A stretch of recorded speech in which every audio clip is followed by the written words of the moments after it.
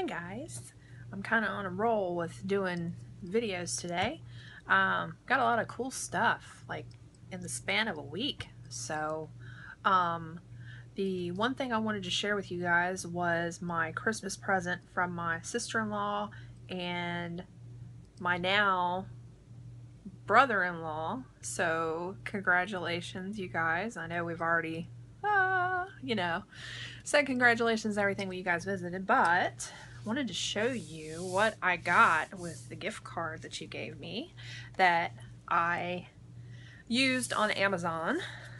And it is the Star Wars costumes, the original trilogy, none of that episode 1 through 3 nonsense. Look at that, Leia. She's like, you know you want this book. You know you better buy this book. You bought this book? Great. So I bought this book and you guys, oh, it's amazing. I know it's, it's got a $60 price tag, but I got really lucky on Amazon. And even though there's like a corner that was banged up that kind of makes me grit my teeth a little bit, um, it was in the cellophane when I got it. It wasn't like re shrunk wrap or anything because I really worry about the binding of books. So like when I order off Amazon from sellers, I'm like, okay, they said like new. Is it like new or am I going to open this up and pages are going to fall out of the binding because I was like really nervous um, because I enjoy making costumes. And this was one of the books that I wanted to add to my collection because they not only show you um, the cloth costumes, but they also show you the helmets, um, anything that's like the 501st Legion um, kind of background where you go to their tables at conventions and then they show you, hey, you know, this was the prototype for the Boba Fett helmet and now this is, you know, what it is painted or we were able to 3D print this and now we can do this. Um, this actually shows you like more of the details of the costumes. Um, like for me, like I never knew that Leia's um, costume that she wears on Endor had crisscross lacing down it like the um, costume for Atreyu in Neverending Story. I never knew that. And I would love, love to have a Neverending Story costume book as well. So if you guys find one or um, you're in another country and you happen to see one, please let me know um, because I would love to have that book. I'm a sucker for any costume books. I have quite a collection. I have the Harry Potter series costume books. I have the Divergent, and I haven't even seen the movie, but I just, I really like the costumes in the trailer. I have the Hunger Games ones. I have, what other costume books do I have? Um, I would love to have the Christopher Nolan Batman series once they're hardbound. Um, right now they're like a weird paperback and they're really thin so they don't go into as much detail as I would prefer so I haven't I don't want to say bothered but I haven't attempted to add those to my collection just yet. So this one it comes with a pretty heavy um, dust jacket that is it's folded over so you still have like a lot of dust jacket. And I'm one of those weirdos that likes to smell my books so it's definitely a brand new book. Um, and I haven't read through it completely just yet, but I don't know this brocade that's on the inside. I'm not sure what costume that's from. I know it's got to be in the first trilogy because I thought, you know, maybe it was something off of Padme's outfits. So I'll show you guys some of the characters. Obviously, this is Darth Vader. But then when you open up the flap, it gives you more detail on his belt, which if I can get, there we go, move my camera just a tiny bit. Um, it shows you more detail on his um, voice box that is on the front of his chest and then this of course is his belt and then it gives you some schematics on and sketches on what he would have looked like um, before they made the final design um, changes. So as you can see here, his mask was very elongated and then um, his side to his costume had a lot more plating to it and then he had kind of like a renaissance um, or like the uh, Shakespeare books that are out that are uh, there's like the Yoda version, the Darth Vader version, and whatever. It was like how they would talk uh, if they were to do Shakespeare. So this kind of has that Shakespearean doublet uh, look to Darth Vader. So that's one.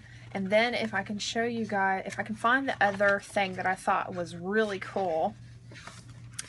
Um, but it goes into like all different kinds. Like here's Han Solo. It gives you like a full shot of Han. Gives you like a full shot of Han and then it shows you like his blaster belt, which it gives you like a lot of detail because then you can see um, how to put the characters together and like okay here's a good one like the Tusken Raiders like you can see how much um, like bandages that they used for their mask. You see how much leather was used, all of the pockets on the bandolier, um, even the boots down here. Like even the boots, like you can see like the detail. It's like this waxy canvas material, which I thought was really cool because I'm one of those sticklers for um, costume uh, accuracy as much as possible. And if I can show you guys Where's the one that I saw that was really cool that I was like, I gotta show you guys this. So let me see. Okay. Some of you really dig Boba Fett, so we'll do Boba Fett. I'll show you Boba Fett. Okay. So you have a full picture, which my friend would go nuts over because this is the actual costume uh, that Jeremy Bulloch wore. And then I don't think this might might not have a flip out. It may. Let's see if we can be gentle. No, this does not have a flip out. Okay, so then it shows you the back end of the costume, which is really cool. And then it shows you all of the uh, gauntlets that were used. And they went through various stages where they were trying to figure out what they were going to do as far as the gauntlets. So then, oh, here we go. This shows you like some of his battle damaged armor if I can get this camera to focus correctly. So, and then you open it up and it shows you the various uh, things that they did for the helmets, the preliminary sketches, and the, like one of my best friend's favorite pictures of Boba Fett. Um, I believe he was going to get that one signed by Jeremy Bulloch, but then we decided to do something else. Um, but there are like it also tells you um, industrial lighting and costumes, which I went to school for uh, theatrical lighting. So um, they didn't really have a costuming uh, class or um, specialty in Lynchburg College when I went. I'm sure that will change.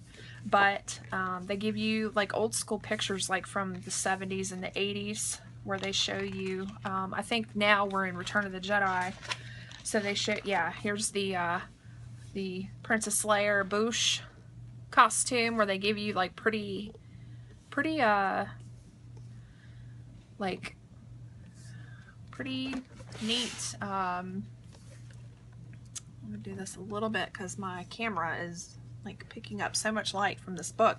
It is printed in glossy paper, so, um, but all the details, like, I never really paid attention, and she actually has spikes on her gauntlets that she wears, and she's got uh, rope braiding around her waist, and then down here it's kind of like a crinkled uh, broomstick spun uh, gauze at the bottom, and I just love these boots. I mean, can these boots, like, be made by, like, I don't know, uh,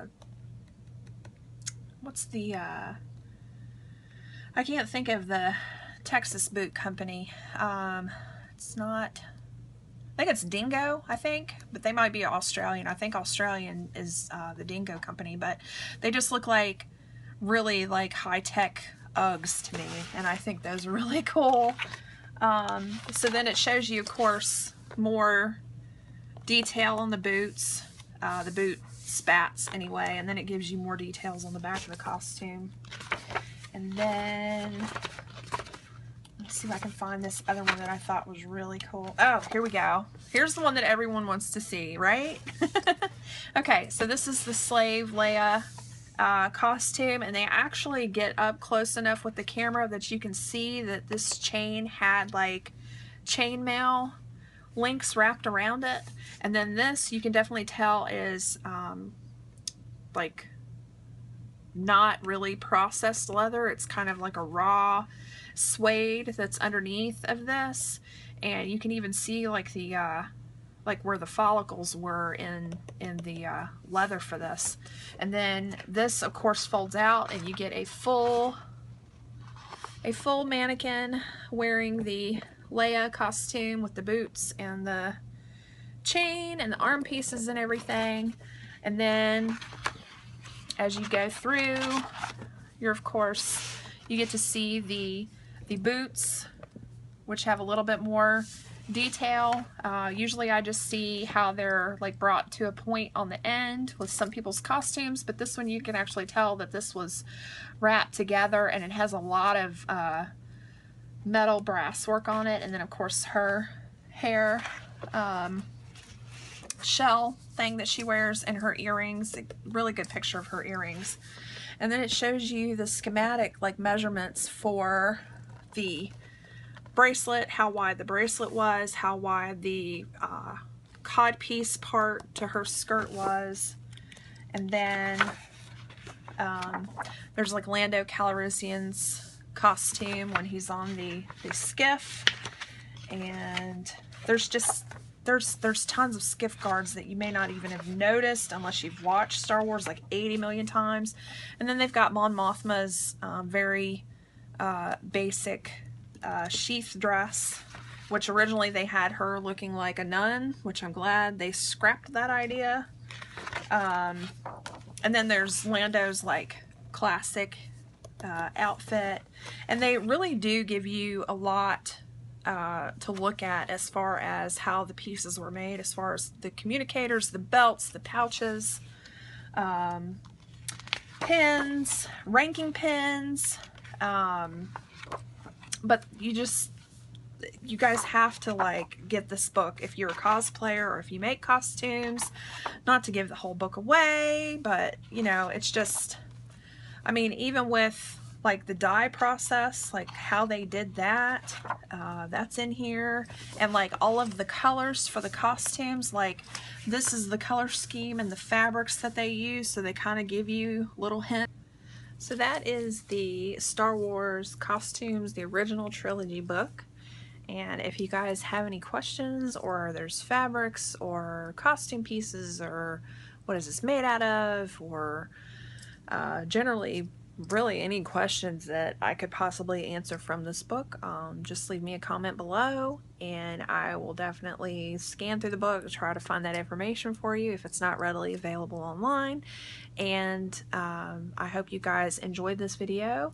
And as always, if you have any constructive criticism, comments, uh, tips, something that you'd like me to review, whether it's a nerdy thing or something that uh, I have to go get or whatever, um, just let me know. Or if there's any kind of uh, sewing techniques that you need to see because you've never sewn stretchy fabric before or any any kind of costuming tips that you need or where to source fabrics and things just let me know because uh, I'm pretty thrifty and I use Google Foo a lot to find out things for my costumes and how other people have tried to attempt to make things. So uh, just let me know.